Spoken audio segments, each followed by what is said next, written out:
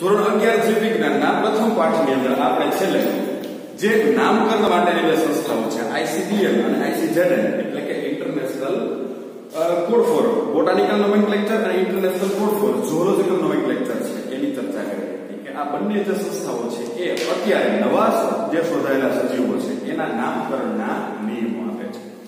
તો આ નામકરણની ક્રિયાવિધિ છે, એની અંદર આપણે તો હવે આ નામ આપવા માટેના પણ નિયમો છે. હવે અહીંયા સૌથી પહેલી વાત કરીએ તો કે નામ છે, હંમેશા બે ઘટકની અંદર હોય છે. બે ટુકડામાં નામ આપવાનું છે. આ બંને ટુકડાઓ છે. એ લખવાના, એ ટુકડાઓ છે, એ કઈ ભાષામાં લખવાના, એના બધાના નિયમો છે, જેને આપણે જોઈએ. આપણે જોઈશું.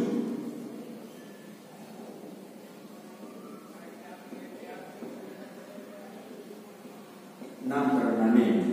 આ નામકરણના નિયમોમાં પ્રથમ નિયમ તો બાયોલોજી છે, એનું મોટા ભાગનું સંશોધન છે. એ ગ્રીક તત્વોથી તત્વોથી શરૂઆત થાય છે, એટલે કે લેટિન ભાષા. એની અંદરથી આની શરૂઆત હતી. તો અહીંયા નામ છે એ લેટિન ભાષા.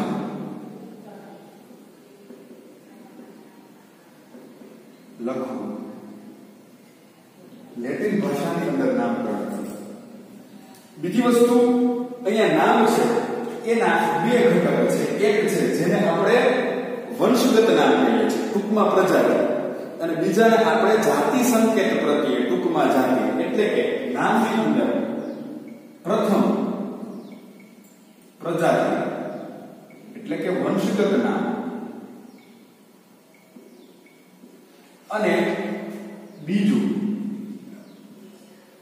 જાતિ.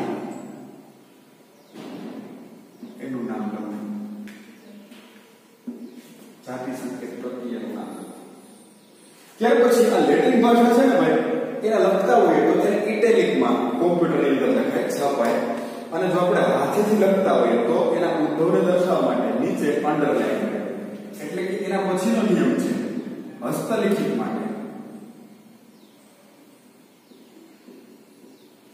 નીચે લીટી, એટલે કે અંડરલાઈન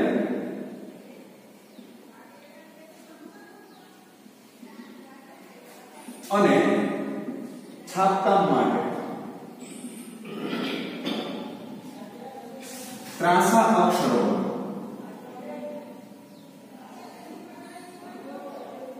એટલે કે ઇટેલિકમાં.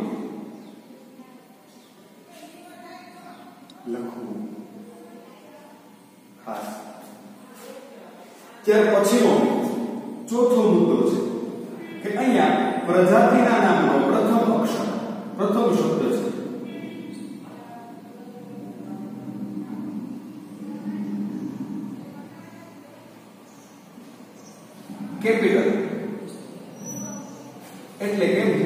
લીટીમાં લખવું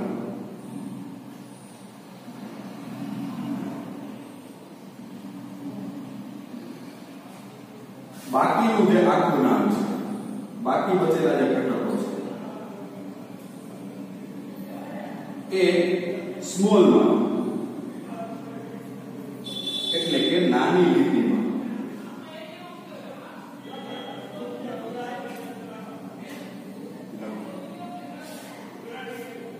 અને હજુ આના સંશોધકનું નામ અંતે ટૂંકની અંદર સંક્ષિપ્તમાં લખવું આવો નિયમ છે. ફોર એક્ઝામ્પલ આપણે વાત કરીએ કે આપણી બુકની અંદર આપેલું છે આંબાનું નામ. દાખલા તરીકે મેન્ઝિફેરા ઇન્ડિકા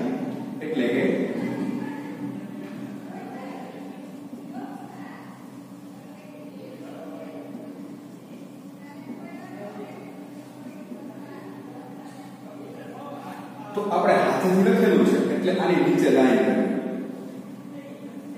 પ્રથમ અક્ષર છે, કેપિટલ. બાકીનું બધું સ્મોલ અહીંયા આઈ કેપિટલ લેવાનું નથી, ખાસ આઈ સ્મોલ રાખવાનું. આ પ્રથમ નામ છે, એ પ્રજાતિ છે. ઇન્ડિકા છે, એ જાતિ છે. માણસની વાત કરીએ તો માણસનું નામ છે હોમોસેપિયન્સ છે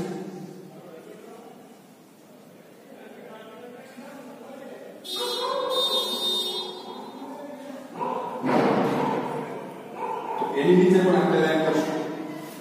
તો આ નામકરણ માટેની એક સામાન્ય પદ્ધતિ છે. નામ આપવા માટેના નિયમમાં છે. તો કે સૌથી પ્રથમ, એને આપણે ઇટેલિકમાં લખશું. ત્રાસા અક્ષરો અંદર જો છાપતા હોઈએ તો.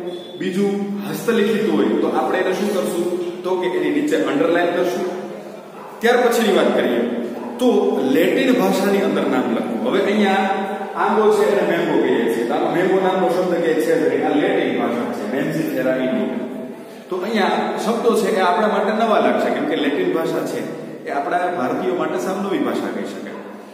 ત્યાર પછી પ્રથમ અક્ષર છે એ કેપિટલ અને પછીનું આખે આખું નામ છે. એસ આખે આખું કેમાં લખવાનું? તો કે સ્મોલમાં લોઅર કેસની અંદર આપણે એને લખશું અને અંતે એના સંશોધકનું સંસ્કૃતમાં નામ લખશું.